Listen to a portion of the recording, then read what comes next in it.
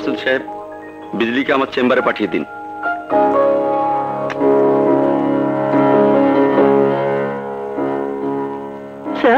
বসুন।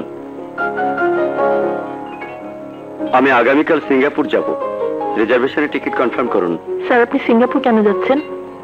একটা জরুরি কনফারেন্সে অ্যাটেন্ড করতে কালই আমাকে সিঙ্গাপুর যেতে হচ্ছে। কতদিনের জন্য যাচ্ছেন স্যার? এই তো দশ পনেরো দিন হবে। ওকে স্যার আমি সব ব্যবস্থা করছি। বিজলি হুম। জি বলুন। বিজলি একটা সত্য কথা বলব? জি বলুন। কাল আমাদের বাসায় আপনাকে দেখে নতুন বলে মনেই হয়নি। খুব সহজেই আপনি আমার মায়ের মন জয় করে নিয়েছেন।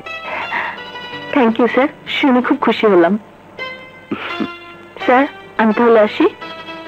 হুম। থ্যাংক ইউ স্যার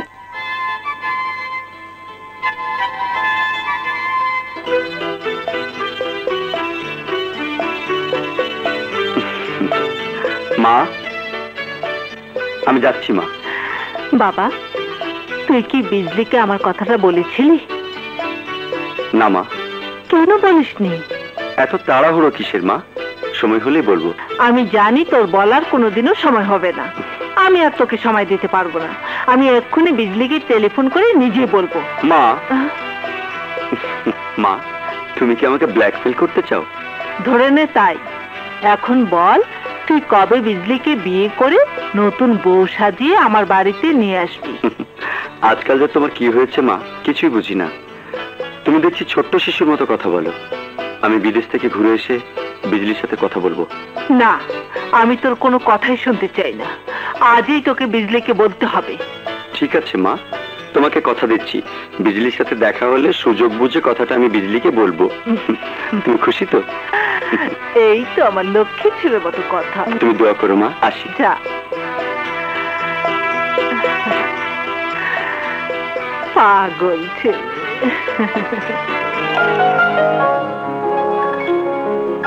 স্যার আপনি বিদেশ যাওয়ার আগে এই ফাইলটা সই করে দিয়ে যান। বসুন।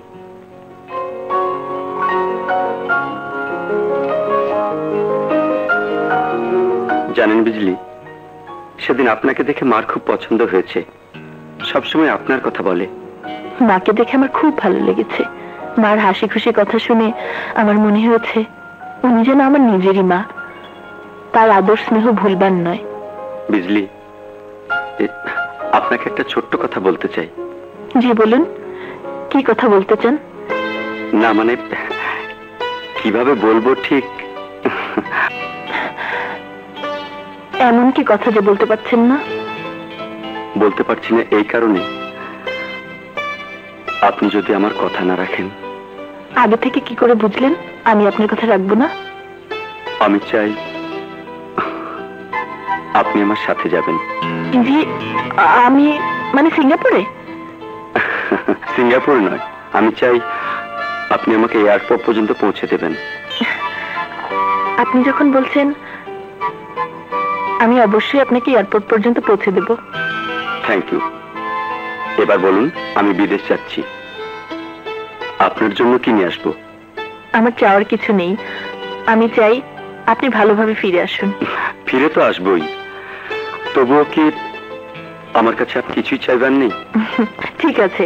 আপনি যখন আমার জন্য কিছু আনতেই চাচ্ছেন তাহলে পুরো সিঙ্গাপুরটাই আমার জন্য নিয়ে। আমি তাই আনতাম। কিন্তু আমার ব্রিফকেসে এত বড় জায়গা নেই। স্যার কটা বাজে?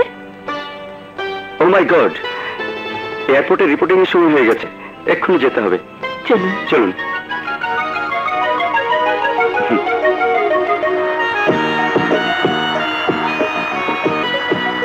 সিঙ্গাপুর থেকে এসেই আমাকে আবার আবুধাবি যেতে হবে।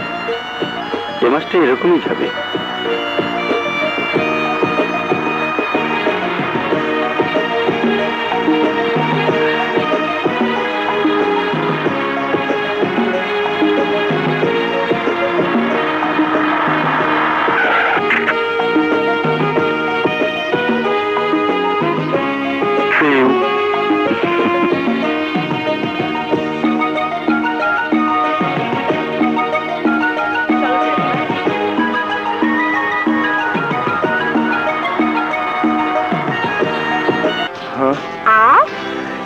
Yes. Relax. Uh, slowly move. Huh? Slowly. Yes. Uh, huh. Good. Very good. Bye.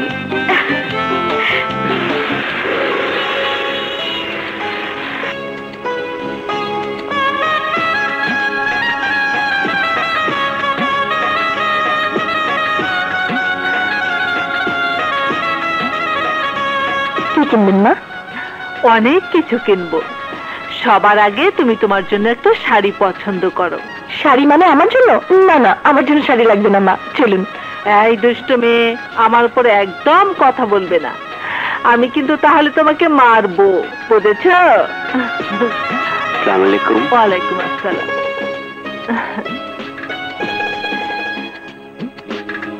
ওই লাল শাড়িটা দেখান তো।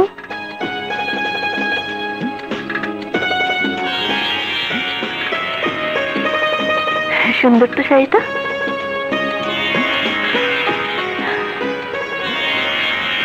দেখি। বিজলি,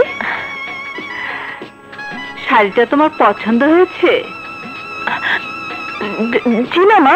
হ্যাঁ হ্যাঁ আমি জানি তোমার পছন্দ হয়েছে। শাড়িটা প্যাক করে দিন তো। না না মা। হ্যাঁ? রাখো।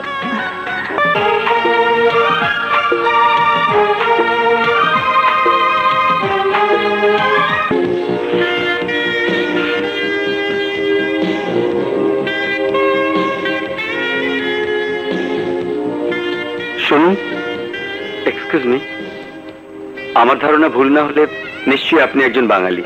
আপনি ঠিকই বলেছেন আমি hundred percent Bangali. Nice to meet you আমার নাম আকাশ। আমার নাম আগুন। কয়েকদিন আগে বাংলাদেশ থেকে এসেছি একটা কনফারেন্সে যোগ দিতে। কনফারেন্স শেষ হলেই দেশে ফিরে যাব। ইয়ে, চলুন না বসে কথা বলা যাক চলুন। বসুন। আমি বেশ কিছুদিন ধরে এখানে রয়েছি। একটা রোড অ্যাক্সিডেন্টের পর আমি পঙ্গু হয়ে গিয়েছিলাম। চিকিৎসার জন্য এখানে এসেছিলাম। জানেন চিকিৎসার আগে আমি ভাবতেও পারিনি আমার পঙ্গুত্বের জীবন থেকে আমি আবার নতুন জীবনে ফিরে আসব। আমি এখন সম্পূর্ণ সুস্থ। অবশ্য আমিও খুব তাড়াতাড়ি দেশে ফিরে যাব। দেশে আপনার কে কে আছেন? শুধুমাত্র স্ত্রী ছাড়া বাবা মা সবাই আছেন। তাহলে এখনও আপনি বিয়ে করেননি? না আমার এই অ্যাক্সিডেন্টের জন্যই আমি বিয়ে করিনি। অ্যাক্সিডেন্টের জন্য বিয়ে করেননি তার মানে? সে এক হাসি কান্নার ইতিহাস। আমি একজনকে মন প্রাণ দিয়ে ভালোবাসতাম। হুম, তাকে বিয়ে করে গড়ে তুলতে চেয়েছিলাম সুন্দর এক পৃথিবী, কিন্তু তার হয়ে ওঠেনি। মারাত্মক এক সড়ক দুর্ঘটনায় আমি চিরদিনের জন্য পঙ্গু হয়ে গেলাম আমার এই পঙ্গুত্বের জীবনের সাথে। বিয়ে করেও সুন্দর জীবনটাকে আমি নষ্ট করে দিতে চাইনি। আর চাইনি বলি, আমি ওর সাথে মিথ্যে অভিনয় করে, আমার প্রেমকে অস্বীকার করে, ওকে চরম অপমান করে, ওকে আমার বাড়ি থেকে তাড়িয়ে দিয়েছিলাম। যদি অনেক কষ্ট আমি পেয়েছিলাম। কিন্তু তখন এছাড়া আমার আর কোনো উপায় ছিল না। সে যাক, আল্লাহর অসীম রহমতে আমি এখন সম্পূর্ণভাবে সুস্থ। দেশে ফিরে আমি ওকে বিয়ে করব। এবার বলুন, আপনি বিবাহিত না অবিবাহিত? আমার জীবনেও ঘটে গেছে এক করুণ প্রেমের ইতিহাস। প্রথম প্রেম কখনো ভোলা যায় না। আমি একটি মেয়েকে ভালোবাসতাম। তার সাথে আমার বিয়ে হচ্ছিল। কিন্তু বিয়ের দিন রাস্তা থেকে ডাকাতরা ওকে তুলে নিয়ে যায়। পরে ওকে আর খুঁজে পাইনি। তারপর আমার জীবনে দেখা দিল আরেকটি মেয়ে। বর্তমানে সে আমার অফিসে চাকরি করে। মেয়েটিকে দেখে আমার মায়ের ভীষণ পছন্দ হয়েছে। মা তার সাথে আমার বিয়ে দিতে চায়। কিন্তু মজার ব্যাপার কি জানেন? আজ পর্যন্ত আমি তাকে আমার বিয়ের প্রস্তাব দিতে পারিনি। বলেন কি? আশ্চর্য ব্যাপার। আপনি যাকে বিয়ে করবেন, তাকে এখনও বিয়ের কথাই বলেননি? না না না না, এটা বড় অন্যায় আপনার। জানেন, বলতে যেও বলতে পারিনি। আমার কেন জানি ভয় হয়। যদি সে আমাকে ফিরিয়ে দেয়, যদি আমার প্রস্তাবে সে রাজি না হয়। আরে দূর মশাই, আপনাকে নিয়ে আর পারলাম না। আচ্ছা আপনি কি করে আগে থেকে বুঝলেন সে আপনাকে ফিরিয়ে দিবে? দাঁড়ান, এক্ষুনি আমি সমাধান করে দিচ্ছি। এবার আপনি ওর নাম্বারটা বলুন। আমি লাইন ধরিয়ে দিচ্ছি আপনি বলবেন আমি তোমাকে বিয়ে করতে চাই। তাড়াতাড়ি নাম্বারটা বলুন। এক্ষুনি নাম্বার বলতে হবে। আরে মশাই শুভ কাজে দেরি করতে নেই। যত তাড়াতাড়ি বলবেন ততই আপনার জন্য মঙ্গল। বলুন। Nine three five double seven eight one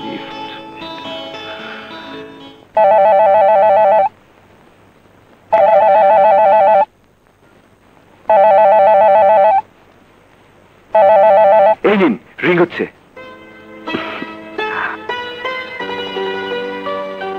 hello? বলুন তো আমি কে বলছি? আপনার কণ্ঠটা আমার অনেক পরিচিত। আপনি মিস্টার আগুন। হ্যাঁ ঠিক বলেছেন। শুনুন আমি কালই দেশে ফিরছি। আপনাকে একটা জরুরি কথা বলতে চাই।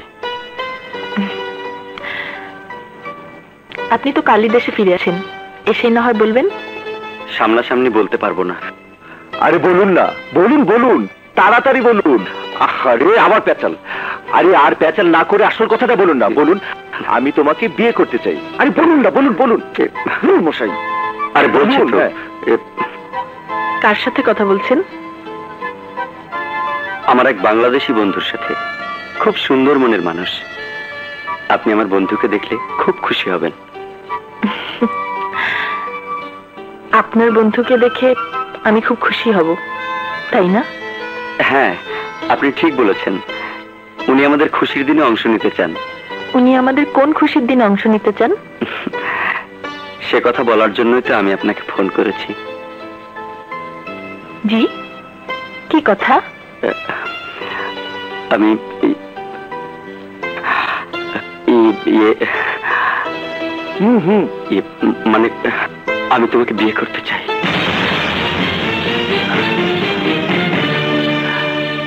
তুমি রাজি তো? জি। আমি আগামীকাল বিকেলে দেশে ফিরবো।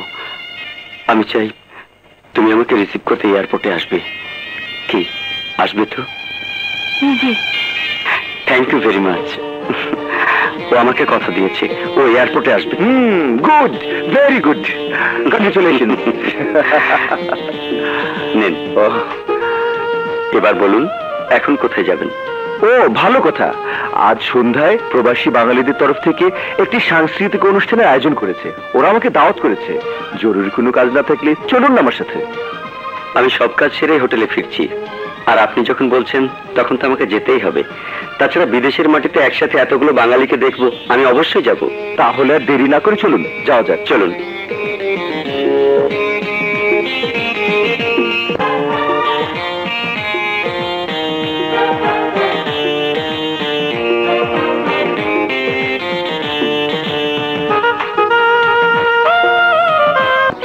সন্ধ্যা